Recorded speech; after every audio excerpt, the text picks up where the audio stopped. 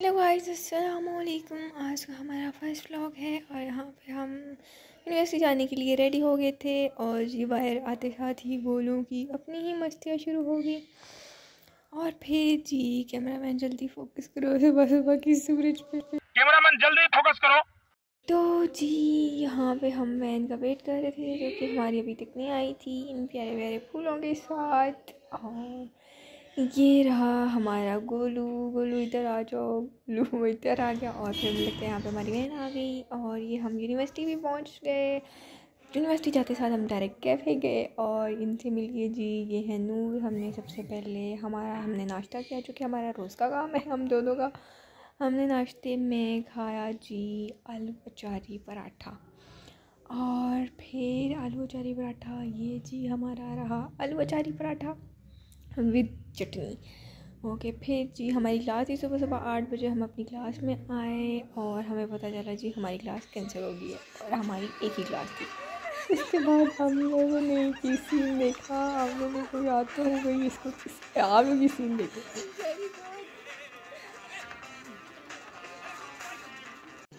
तो रुको जरा सबर करो। यहाँ पर जो है ना आपने हमारी सिर्फ़ हँसी की चक्के लिए चीखों वाली हँसी।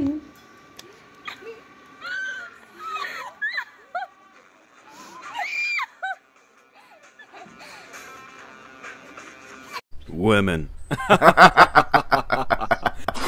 भाई, हमसे कोई फुल मूवी तो देखी नहीं जाती तो हमने सोचा कि थोड़े थोड़े सबके सीन्स देखें फिर हमने सोचा कि हम ये वाली मूवी देखते हैं हैप्पी न्यू ईयर लेकिन फिर भाई, हमें ये भी अच्छी नहीं लगी। और फिर इसके बाद हमने चेंज की, हमने चेंज करके ये लगा ली चुप चुप के, और ये हमने एंड तक देखी। इस पर आपने बस बहुत अच्छी तरीके से कपड़े धोता हूँ बिल्कुल नहीं आता मैं इसको बिल्कुल सिखा नहीं नहीं कपड़े महँगे हैं जो नहीं जानता वो धोएगा तो कपड़े फट जाएँगे को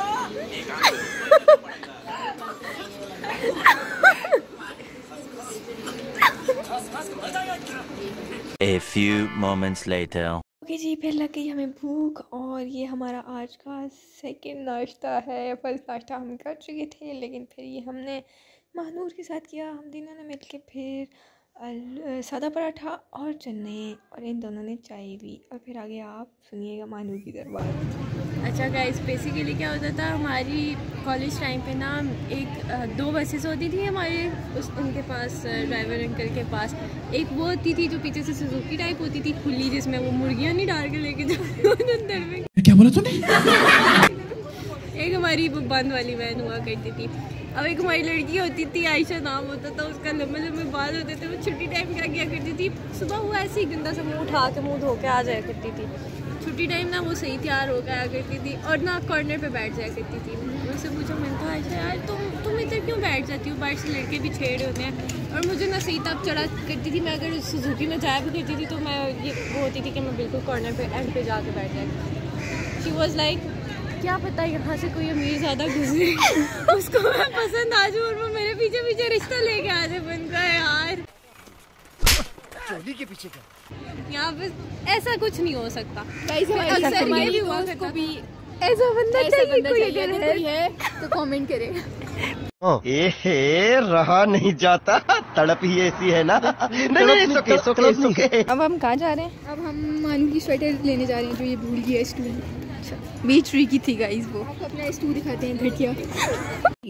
बहुत तेज हो रहा है बहुत तेज हो रहा है तो गाइस हम अपने डिपार्टमेंट आ चुके थे और ये रहा हमारा बेसमेंट में डिपार्टमेंट यहाँ पे आप बैग लटके हुए देख सकते हैं जो कि ये लोग अंदर नहीं लेके जा नहीं रहे थे और गाइस ये रही मानूर की स्वेटर मिल गई थी हमें।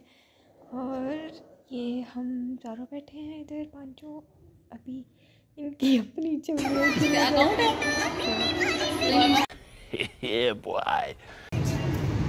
गाइस अब हम जा रहे हैं घर।